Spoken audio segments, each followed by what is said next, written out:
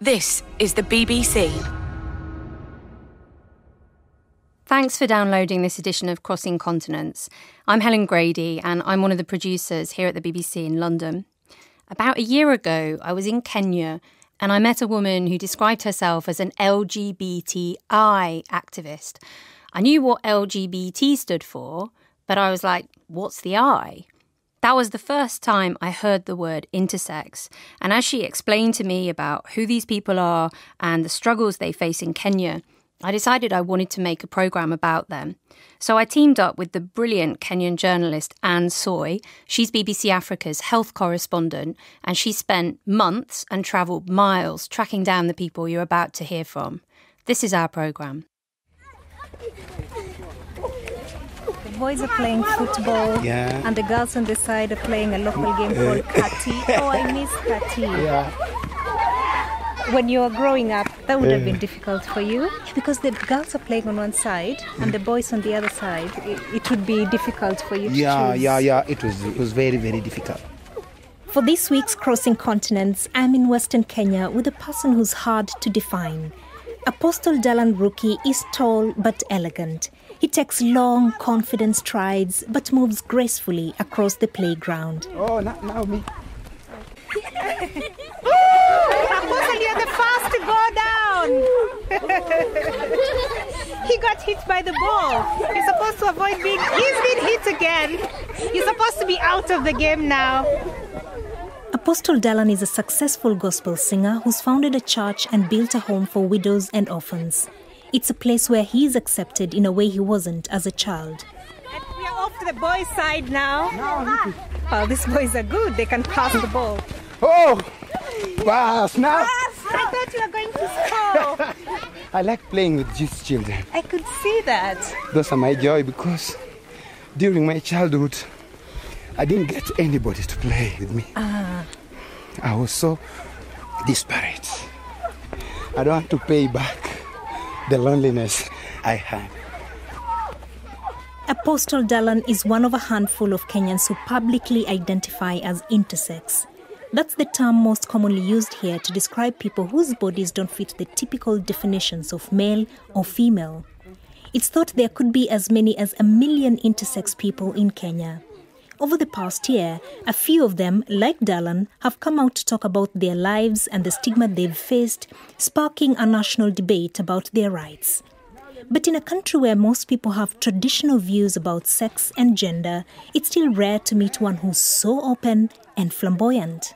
Your outfits are quite spectacular. I've been here for less than two hours and I've seen you in two different outfits, all flowing. Yeah. So I can see it's several pieces. Yeah, The- I have so a trouser There's a trouser inside. inside, And then, a skirt here, there's a coat. Yeah. which is long. Yeah, it Right. symbolizes who I am, my intersex, because I'm a man and I'm a woman. I'm proud of both. Yeah, I can, I can see you've also done your hair. Is, is that a weave? No, no, I have natural hair. And evidently, you also have some lip balm on. Yeah. I can tell that um, you've applied some, some powder on your face. Yeah, I do makeup sometimes. I decided to come out so that everybody should know who I am. Me, I was born an intersex, and this is how I am, and uh, this is how God created me. How do you like to be referred to? Do we say him or her? So it's just okay anyway, a he or a she. You're fine I'm just either. fine with either. How do you react when you see somebody so confused? Like, he, he, she, she, she, he, she- you know? It can be confusing. I know that it is not normal in the eyes of people, but it has happened. But it wasn't always a laughing matter, especially for Apostle Darlan's mother. Gima natimo ne apando. I hid the child because in our tradition, the Luo people would kill such a child if they discovered it was intersex. I was scared if I left him alone, someone would kill him. So I kept him with me at all times. So that means you used to go everywhere with Darlan. Mm, Kamoro amora manadhie nadhi kode. Yes, I'd walk everywhere with him. When he was going to school, I'd go with him. I wouldn't even allow him to go take a bath with his peers at the lake. I prepared a safe place at home where he could take his bath. That's because traditionally people go to the lake to bathe.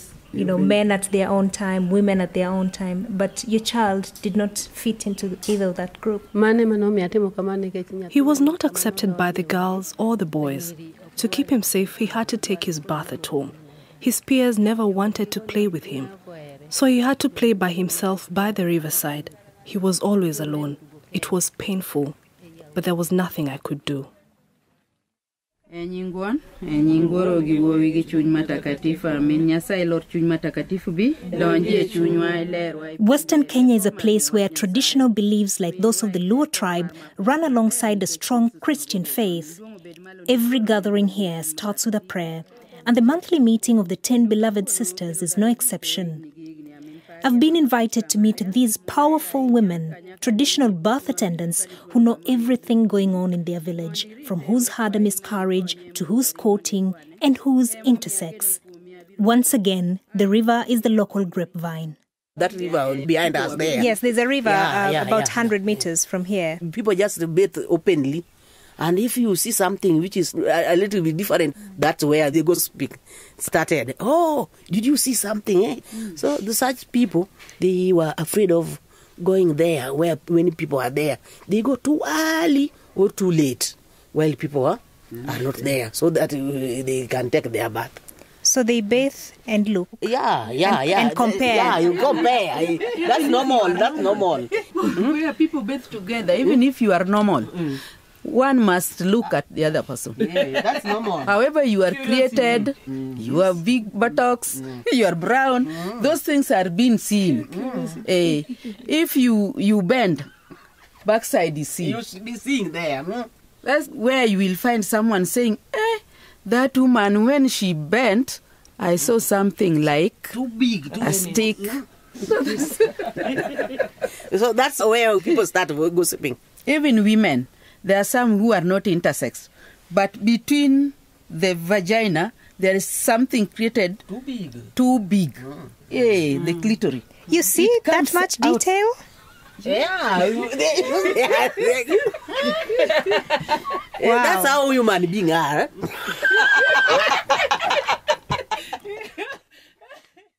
The ten beloved sisters have obviously seen it all. They are unshockable. So I dare ask them a sensitive question. These days, most mothers give birth in hospital to reduce the risk of HIV transmission. But not long ago, traditional midwives had the power of life or death in their hands, literally. So, how did their predecessors deal with newborn babies whose gender wasn't clear? I should warn you, the answer is disturbing. They used to kill them, even they were not even allowed to the community to know what what had happened there. You just tell that the child was born and the, the child is dead. If this baby, like uh, the intersex, was born, if that one was seen, It was like a curse. automatically it was like a curse. The baby dies. The baby just dies? They killed them. They used to kill them. How?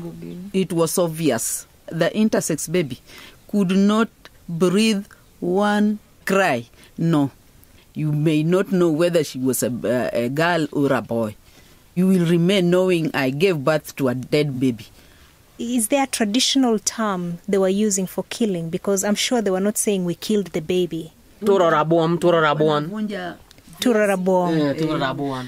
Eh, wakati mwanamke amezaa mtoto intersex, the old woman alikuwa anachukua viasi viasi hii viasi tamu anavunja anaweka kwa kichwa ya mtoto anavunja hivi alafu mtoto anakufa So they used to take a sweet potato mm. and put it on the baby's yeah, head and break it break it once once, Yeah. and that kills the baby. that kills the baby so, mm. Were they saying they, they've killed the baby, or They just say that tumevunja viazi.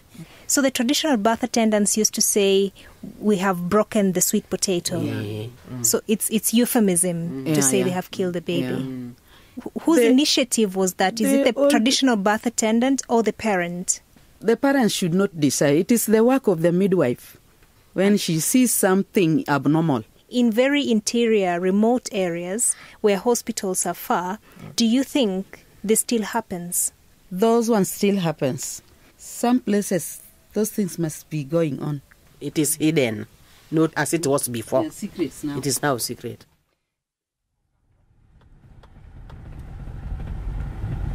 We're driving on a rough road now, and we have been looking for a traditional bath attendant who has an incredible story. She ran away from her home. Looks like we're driving next to a swamp. Luckily, it hasn't rained, so the road isn't too bad. Here we are. Hello. We're quickly taken inside a small house made of mud to meet Zainab. She's traveled hundreds of miles to meet us at a secret location. She's had direct experience of delivering an intersex baby, and it's changed her life. kang'iyo nyathi tayudo koti gik moko ariyo koro kong'iyo to When I looked at the baby, I saw two things protruding. And when the mother looked, she saw that it had male and female parts. When the husband arrived, he said, We can't take this baby home. We want this baby to be killed. But I told him that this was God's creation and must not be killed. And then I told him, Leave the baby with me. I'll kill it for you. But I did not kill it. I kept it. Two years went by, and I delivered a baby exactly like the other one. In this case, the mother just fled and left me with the baby. That brought me a lot of problems with my husband. He is a fisherman, and when he went out to the lake to fish and had a bad catch, he said it was because the children had brought a curse on us. He suggested I give him the children so he could drown them in the lake. But I refused. We started fighting all the time. I was forced to flee with the children. Do you regret taking these children? Maybe this was God's plan. They are human beings. I have to take care of God's creation. You, you clearly like their parent. to donge koro gin nyithinda They are my children now. It's me they call mommy. Should I throw them out? No, I am their mom. This is where the children lives. This is the house the children for female and, Okay. and male. Apostle Darlan has also created an unconventional family through his church. And you, it's not just the children, it's Yeah. also the grannies. I'm told the oldest is 84. Uh, many of them are either widows or they never got children. One I've been introduced to got 11 children, but all of them died, and so they have no one to take care of them. And they have come here to the mission center, and this is where they live now. Uh, they take Apostle Darlan as their child who's taking care of them. It's just ask them to stand up so you can see some dance.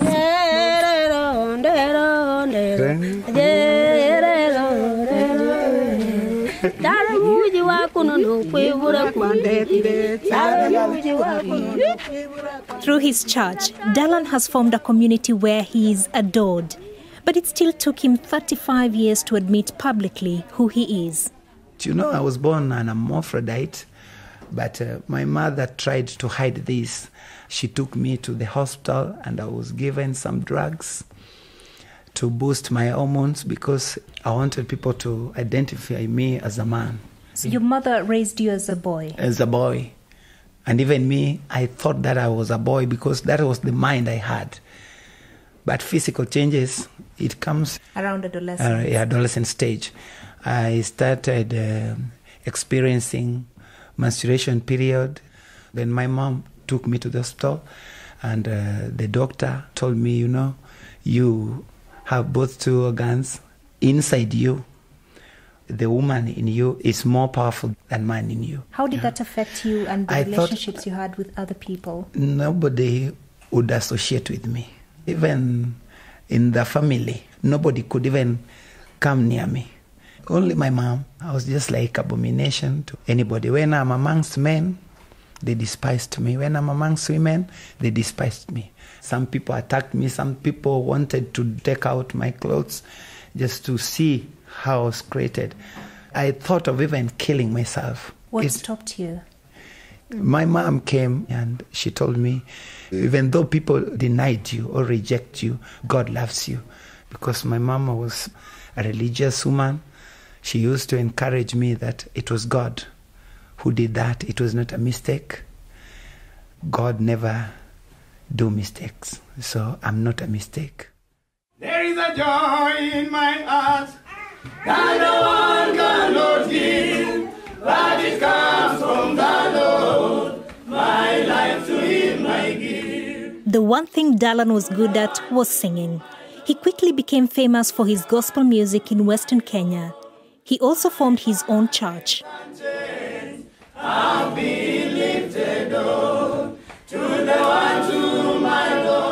Christianity has a big influence in the daily lives of people here. Religious leaders play a key role in shaping attitudes.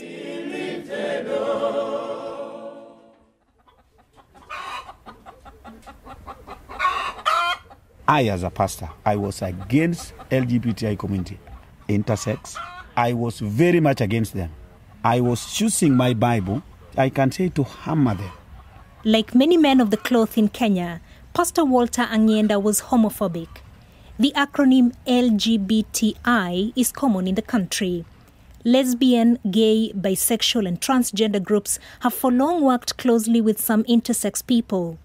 One such local organization took Pastor Walter through a training course. Before that training, even even coming to the church, I'll say you are not supposed to intermingle with us because you are a sinner already. In our community, as a Luo, a child born with two organs is abomination. It will bring a lot of things in the community, curses, whatever. But after this training, I've realized they are just human beings like us, and they are the creation of God. It was that realization that turned Pastor Walter into an unlikely intersex advocate. I heard some rumors that uh, we have a two in one, the way they call it. We have a two in one person in this area. So I asked them, Who is this two in one? And they explained it to me. He's still young, but uh, he is locked in the house. Pastor Walter tracked down and befriended Bernard. His sex was unclear at birth, but his parents really wanted a son, so Bernard was raised a boy. It was meant to be the family secret until Pastor Walter coaxed him out of the shadows and convinced Bernard's mother to let him join his church's school.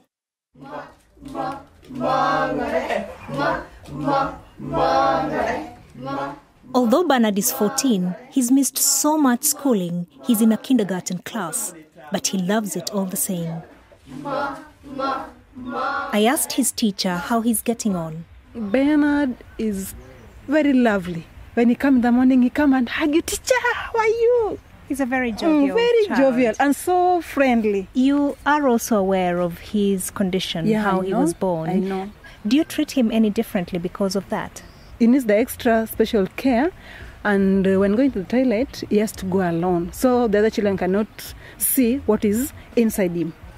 And Bernard is 14 now, and this is the time when children then develop because of adolescence. Have you noticed anything? I've noticed the hips started to broaden up, the breasts are coming out. Even the face, you can now see she's now becoming a very beautiful girl. So Bernard is developing into more of a girl. Yeah, me, what I'm seeing in him, I'm seeing in it, she's a girl, not a boy.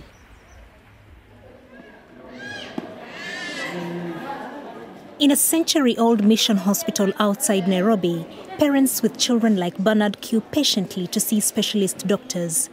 No one knows for sure how many Kenyans are intersex, but the average is between 1.7 and 3% of any population. In Kenya, that means between 750,000 and 1.3 million people. And more and more of them are accessing healthcare services. we have a new set of parents who are willing to seek help. Within these parents, there's internet that is accessible and available for them, even in the rural areas. So when they realize there's something wrong, they're able to just look and see what could this possibly be. Dr. Joyce Mbogo has 32 child patients, as well as adults who come to see her at her clinic in Nairobi. She's one of a new crop of Kenyan doctors trained specifically to deal with what she calls disorders of sex development, or DSDs. I am actually a product of the training that was done within Africa by the European Society of Pediatric Endocrinologists. And we trained within our population, within our culture. So we have had more people graduating with this kind of specialty. Now, there are people who have graduated, like me, have gotten involved heavily in sensitizing the community. And I believe that's the reason why we are having more coming up and seeking help. This is changing the way families deal with intersex children. They now have professionals like Dr. Mbogo to turn to. But she says, as doctors, they don't have the instant solutions the parents come hoping for. It's a journey they've got to walk with the children and their families.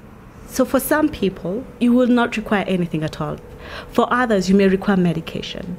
For some conditions, it's just because you are lacking a hormone, and therefore, being given that chemical that you're lacking stabilizes everything. The other one is some require just some correction of the external genitalia.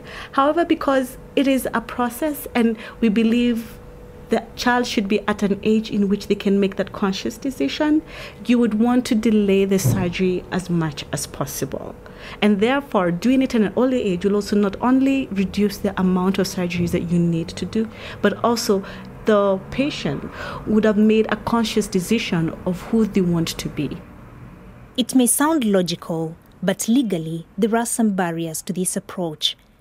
Lady Justice Teresia Matheka is a High Court judge. She got interested in intersex issues after she came across such a child in her court. She's in touch with intersex people across the country and says they all face the same legal problem.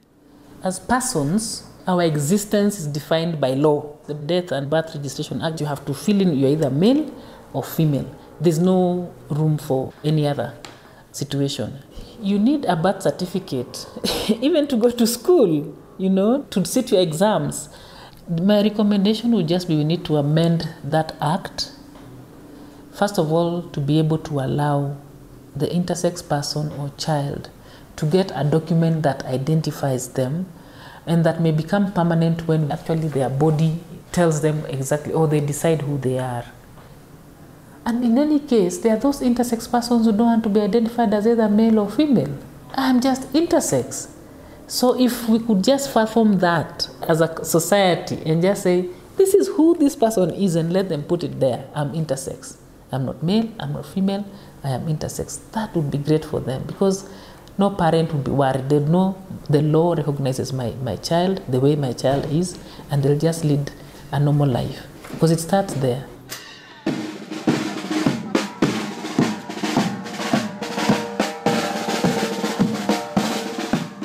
But now, some baby steps. In October, a group of intersex people marched through the streets of Nairobi to present a petition to Parliament. They want laws created to protect them. Some are even calling for a third gender. They are backed by lesbian, gay, bisexual, transgender, and genderqueer activists. My name is Neo Sinapolo Musangi, a non binary Kenyan or genderqueer or gender non-conforming. Basically, I am a person that doesn't feel or identify as male or female or man or woman. And, you know, physically, it's difficult to place you in either of the two genders, either male or female. I can see you have short hair, uh, dyed color blue, uh, very striking, and even though you have a deep voice, there's no beard, and from your structure, it's difficult to classify you as either male or female. Where do you stand in the discussion about third gender? I'm totally for third gender in this country because, particularly with intersex persons, parents would not be compelled to have to take a gender or a sex for their children, for an infant, who then grows up and becomes opposite or non binary, right? So I think having a third gender from the very beginning would allow space for people to choose the gender that they feel comfortable in uh, much later in life, post puberty. Apart from the intersex people, do you see any other group that might need the third gender? I totally think I would fall into the third gender category. Transgender people, non binary people, intersex people. It would be helpful to have a third gender that allows you to not necessarily live with the trauma of your assigned at birth sex. Neo's hope is exactly what conservative groups in the country fear. They see the campaign for intersex rights as part of a wider attack on traditional binary understandings of gender and sexuality. Charles Kanjama is a lawyer in Nairobi and a member of the Kenya Christian Professionals Forum.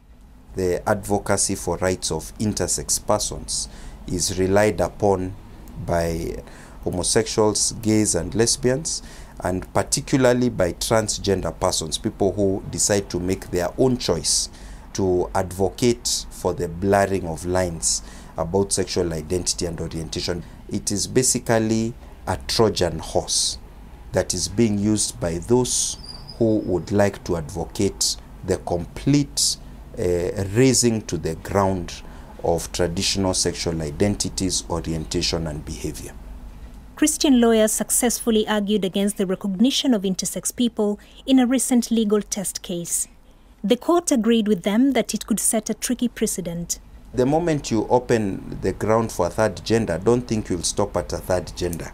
Actually, you will uh, end up with a great diversity of genders.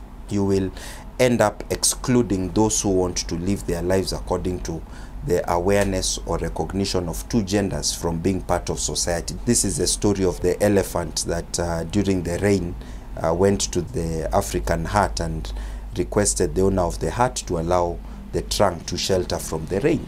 And after the owner thought, yes, I can allow the trunk to shelter from the rain soon, the elephant wanted to get the head in so that the ears could also shelter from the rain.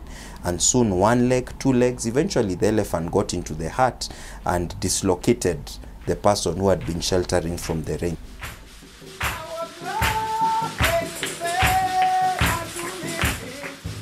Back in Western Kenya, Darlan has found his own way to rise above stigma. But intersex people have not had their day in court. Many still want to be either male or female, and they are pushing for legal and medical support to achieve their goal. But there are those like Darlan who have accepted themselves as they are and would rather not change their bodies to conform to societal expectations. If I could go back to my childhood, I would have not even allowed my mom to identify me as a man. She would have left it for me to identify myself how I want it to be. And knowing all that you know now, Yeah, yeah. how would you have identified yourself? I would have identified myself as an intersex, not as a man and not as a woman, an intersex, because I have both of them. And God never do mistakes.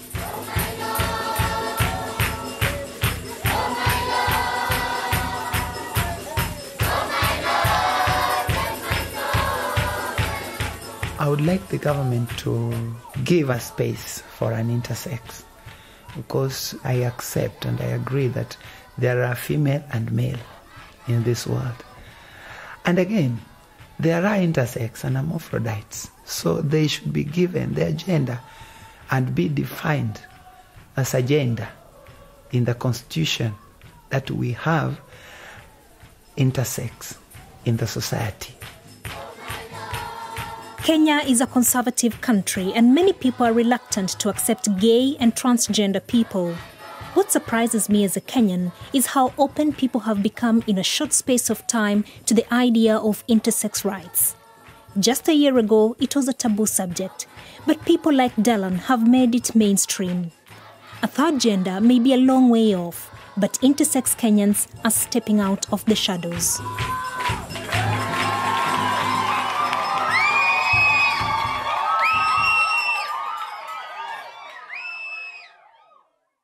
Thanks for listening to that edition of Crossing Continents. The presenter was BBC Africa's health correspondent Anne Soy.